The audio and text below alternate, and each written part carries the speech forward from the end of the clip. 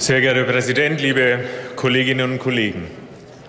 Die Europäische Union steht für die allermeisten Menschen in unserem Land für Freiheit, für eine Zukunft in Frieden und Sicherheit. Sie steht für Zusammenarbeit, gegenseitiges Vertrauen und wirtschaftliche Stärke. Sie ist eine Gemeinschaft, die auf gemeinsamen Überzeugungen beruht. Demokratie, Freiheitsrechte und Rechtsstaatlichkeit. Ja, wir Freien Demokraten wollen ein starkes Europa. Wir wollen eine starke Europäische Union. Und deshalb ist es notwendig, dass die Reform der EU im Innern nicht mehr auf die lange Bank geschoben wird.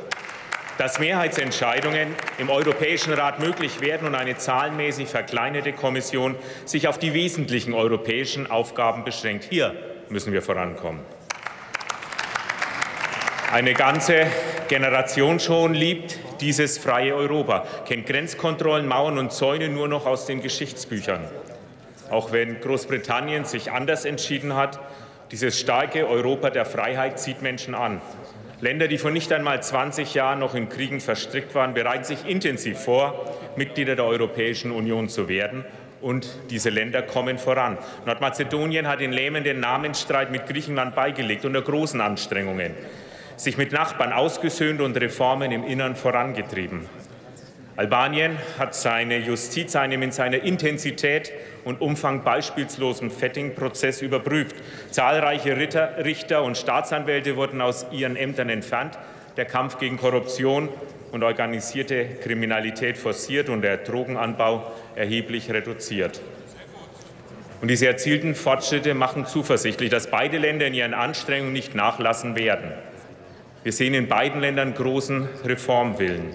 In zukünftigen Verhandlungen sind wichtige Herausforderungen darüber hinaus zu klären. Fragen der Migration und Freizügigkeit oder auch des Umgangs mit nationalen Minderheiten.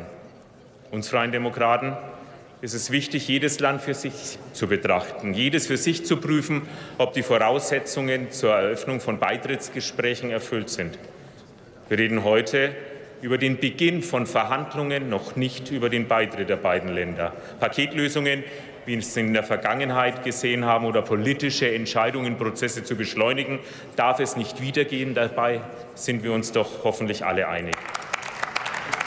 Die Bundesregierung will ihre Zustimmung bei Albanien unter Vorbehalte stellen. Weitere Reformen, zum Beispiel beim Wahlrecht, der Korruptionsbekämpfung oder beim Aufbau der Justiz.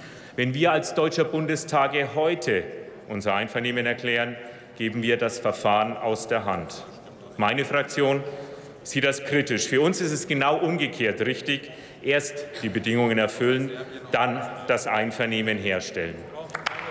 Liebe Kolleginnen und Kollegen, lassen Sie uns unsere gemeinsamen Anstrengungen für Freiheitsrechte, Bürgerrechte und Rechtsstaatlichkeit in den Ländern des Westbalkans fortsetzen. Geben wir vor allem der jungen Generation die Chance auf eine gemeinsame europäische Zukunft. Sagen wir Ja zum Beginn von Beitrittsverhandlungen für Nordmazedonien und Albanien. Für Nordmazedonien heute und für Albanien, sobald die Bedingungen erfüllt sind. Vielen Dank. Der nächste Redner, der Kollege André Hunko, Fraktion